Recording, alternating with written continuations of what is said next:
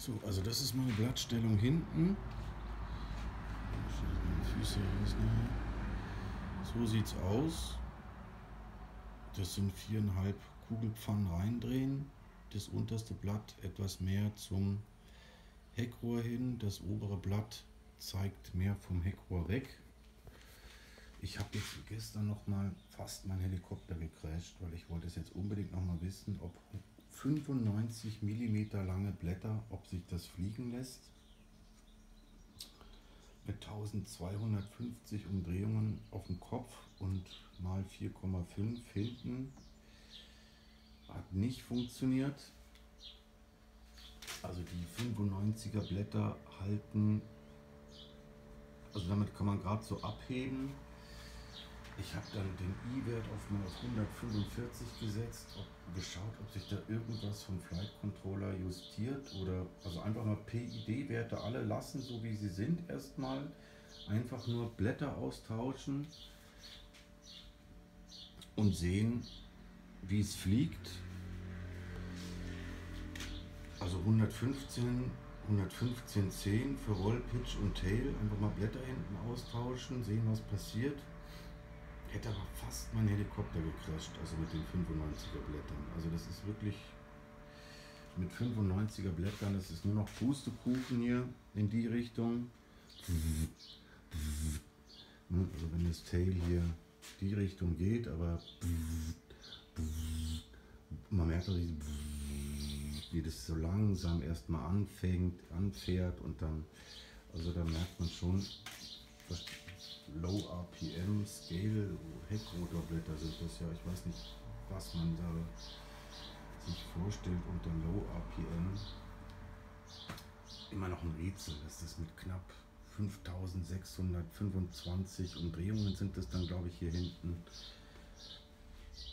Dass das nicht funktioniert mit 95er Blättern, das ist mir immer noch ein Rätsel.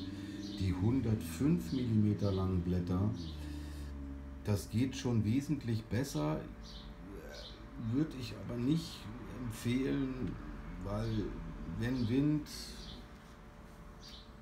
dann könnte euch das Tail im Fluge irgendwann abhauen und dann habt ihr auch kein freudiges Erlebnis. Weil mir ist gestern mit 95 mm Blättern, das habe ich mit dem schon einmal gehabt, der Helikopter, ich habe den Helikopter schon fast abschreiben können. Ähm, aber dank der Safe Stability Einstellung hat sich der Helikopter noch mal fangen können. Aber bei dem ist mir das gestern also wirklich in Bodennähe abgehauen, das Tail. Und hier ist es mir einmal passiert, wie gesagt, in luftiger Höhe haute mir das Tail auf einmal ab und man hat überhaupt keinen Einfluss, da irgendwas zu machen. Deswegen die Safe Stability On ist manchmal wirklich nicht doof dumm. Ne? Das, wenn das mal passieren sollte, kann der Helikopter dann noch, kann der Flight Controller dann noch was retten. Also ich habe wie gesagt gestern mit 95 versucht in Bodennähe zu fliegen mit Vollausschlägen links rechts am Tail und irgendwann ist es mir dann abgehauen und ich konnte den Helikopter eigentlich gerade noch so puh, sicher absetzen. Das war knapp. Die 105 mm Blätter, wie gesagt, das geht schon besser. Vielleicht wahrscheinlich, vielleicht ist es geschwindigkeitsabhängig oder man muss ewig lang rum experimentieren, bis man da die ideale RPM-Zahl gefunden hat. Ich weiß nicht, wie das andere Modellbauer machen, dass sie das schaffen, da so kleine Blätter hinten dran zu kleben an ihre vier Blattblätter. Kann ich euch nicht sagen. Vielleicht haben die eine andere Übersetzung. Vorne, hinten. Sagt, vielleicht verraten die das irgendwann mal, wie sie das machen. Ähm, jedenfalls jetzt mit 115 mm Blättern also damit habe ich ein ganz sicheres, stabiles Flugerlebnis. Ähm, das kann man gut fliegen mit einem 5-Blatt-Rotor, Hauptrotor. Das geht. wie gesagt, mit fliegt jetzt nur noch mit 115, 115, 10 für Roll, Pitch und Tail. Da wird nichts mehr äh, verstellt oder geändert. Konzentriere mich jetzt eigentlich nur noch, beobachte den Hover-Offset-Wert genau. In der Hoffnung, dass sich der Motorregler da gut einstellt und die größtmöglichste Effizienz da aus dem Motor rausholt und dem Akkupack bei 5,5 Minuten Flugzeit. Da will ich auch nicht weiter großartig rumändern. Den Gyro lasse ich auch auf 100%. Also ich sage, gebe euch die Werte nochmal durch hier.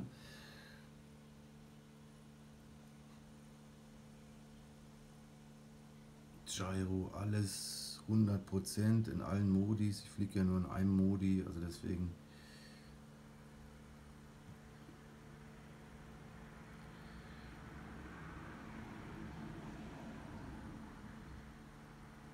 Das ist meine Throttle Curve.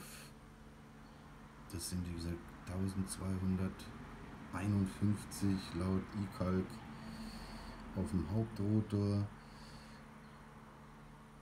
Das ist meine Pitch Curve hier mit dem Expo eingeschaltet. Eine leichte Kurve und dann so einen leichten negativen Pitch unten. Das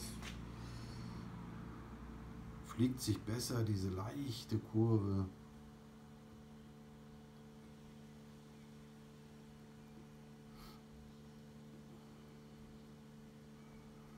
Expo ist auf 35 auf allen Kanälen, auf allen Flugrichtungen hier.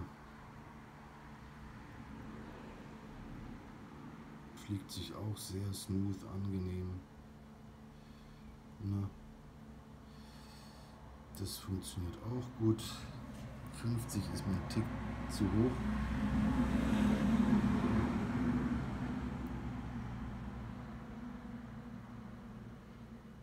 Agility 20 passt, ist wirklich gut, auch sehr angenehm, wenn es alles so ein bisschen sich so ein bisschen zeitverzögert fliegt. Ne? Es ist so ein bisschen so, so ein bisschen Zeitraffer.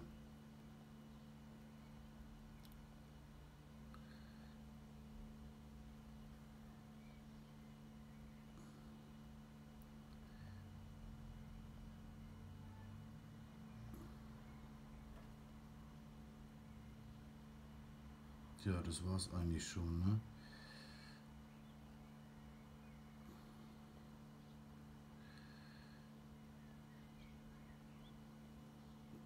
Gestern den Travel noch um fünf Mal aufgesetzt, um zu sehen, ob sich da was verändert. Also eine Kurve fliegt sich jetzt irgendwie besser. Das Einzige, wo ich echt enttäuscht bin, mit dem Flight Controller, ist Gut, der Verisoft Motorstart, der nicht geht, aber die größte Enttäuschung ist eigentlich echt ein Helikopter mal so um die eigene Achse mit so einer leichten Schraube nach oben drehen lassen.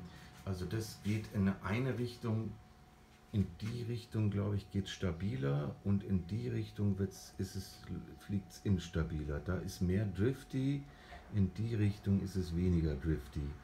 Also das ist weniger Eiertanz, das ist mehr Eiertanz. Ne?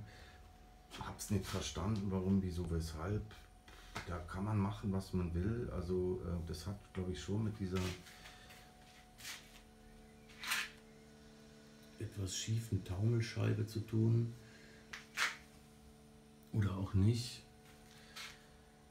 Kann ich euch nicht sagen, aber das war jetzt für mich so ein bisschen die Enttäuschung, wo mir echt gedacht hatte, Mensch, so ein Flight Controller zu dem Preis, also da kann man schon ein bisschen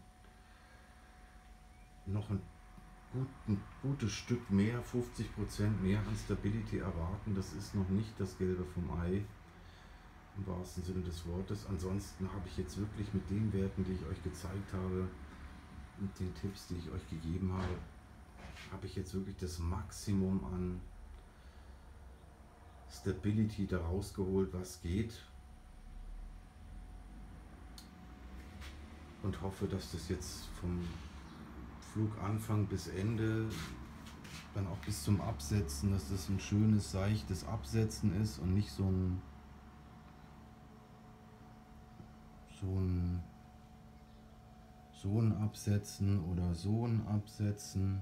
Ne, das ist es nicht. Also das hat mit dem Hover-Offset-Wert zu tun, wenn der Controller und der Motorregler da nicht 100% zufrieden sind, dann geht das wieder los. Aber das ständig umzustellen, verstellen, ich meine, irgendwann muss es sich dann auch mal selber einstellen, dass es auch so bleibt. Ähm, das ist mir wichtig. Ansonsten habe ich jetzt wirklich das Maximum ausgeholt, was geht. Mehr geht, glaube ich, nicht. Ne? Jetzt ist das Maximum erreicht. Also wie gesagt, fliegt sich schon sehr schön. Ne? Das, das sind so richtig schöne, smooth, sanfte Bewegungen. Man kann ihn auch härter rannehmen, aber es sieht trotzdem noch sehr super. Die Flugmanöver sehen sehr flugecht aus. Ne? Hier flog gerade ein NH90, glaube ich, drüber, ne? etwas höher. Wir üben schon mal Flugraumüberwachung. Finde ich gut so, könnten ruhig noch mehrere drüber fliegen. fliegen. Am besten so ein Zehnerpack gleich mal, so ein Staffelflug. Wie auch immer, das habe ich jetzt alles durchgetestet. Jetzt bin ich, glaube ich, wirklich am Ende der Fahnenstange. Ich weiß jetzt auch nicht mehr, bin noch irgendwie, sitze manchmal nur da und bin am überlegen, was man jetzt noch ändern könnte. Aber irgendwie da jetzt noch großartig rumzutüfteln, macht jetzt keinen Sinn, weil das ist jetzt wirklich schon ein sehr sauberes, stabiles Flugerlebnis, auch mal so gut Geschwindigkeit, Pitch vorwärts geflogen. Aber das sind zwei ganz wichtige Flugmanöver, die ihr fliegen solltet. Euch mal in die Mitte im Rasen stellen und den Helikopter mal so in 10 Meter Radius um euch rumkreisen lassen so leichter Pitch vorwärts oder auch nicht. Und dann Roll Tail links, Roll links und dann schauen, wie sich das so fliegt. Einmal so rum und einmal so rum und dann sollte es sich möglichst gleich fliegen.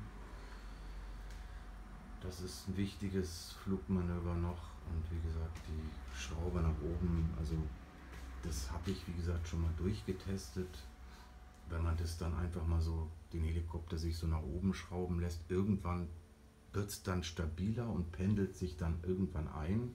Ich glaube schon, dass das mit diesem Tail Adjust zu tun hat, was der Flight Controller da im Fluge macht. Also ihr könnt da PID-Werte einstellen, was ihr wollt, weil der Flight Controller versucht, das im Fluge noch ein bisschen nachzujustieren. Deswegen flattert das Tail manchmal etwas und manchmal flattert es gar nicht. Das hat also wie gesagt mit dem Flight Controller zu tun, der da am Tailgain da noch rumjustiert und versucht wahrscheinlich irgendwie Wind, Wetter, Windrichtung, kann ich auch nicht sagen, was der da genau noch irgendwie versucht zu optimieren. P- und I-Werte da ein bisschen raufschraubt oder runterschraubt. Aber das sieht man ja daran, dass das Tail, dass das Höhenruder manchmal flattert und manchmal flattert es gar nicht. Also das ist dieser Tail Gain Adjust, der da stattfindet vom Flight Controller. Und ich glaube auch, dass das was damit zu tun hat, wenn man den Helikopter hier diese Schraube nach oben dreht, dass da im, in der Drehung, da versucht der Flight Controller irgendwas zu adjusten.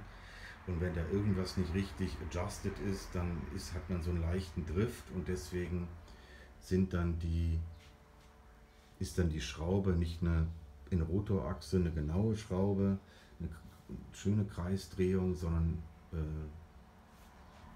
sondern eher so ein, Eiertanz. Ne? Es ist irgendwo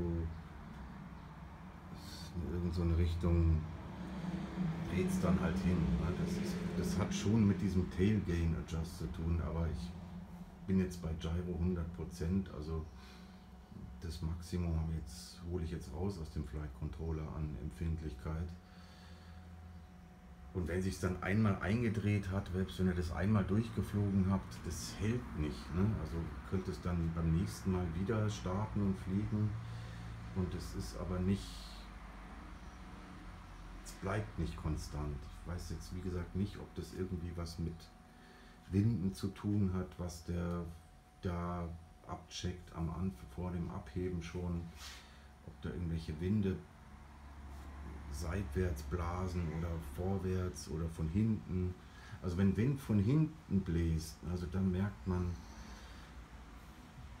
fliegt sich nicht so schön. Ne? Also Windrichtung von hinten und so, das ist ein bisschen unangenehm, finde ich, Helikopterfliegen. Wind von hinten. So, wie gesagt, ist so meine Erfahrung. Aber ich habe euch jetzt alle Werte durchgenannt und wie ihr es einstellen müsst, müsstet, damit es gut fliegt mit den 115 mm Länge Heckrotorblättern von der Blattschmied, also 95 geht nicht, 105 gefährlich, vorsichtig, gerade so, aber 115, den habe ich jetzt schon hart angenommen mit 115 Blattlänge und das hält Gott sei Dank, ne? endlich mal. Aber das, der Flight Controller FC6250HX, das ist schon echt ein ziemliches Tail.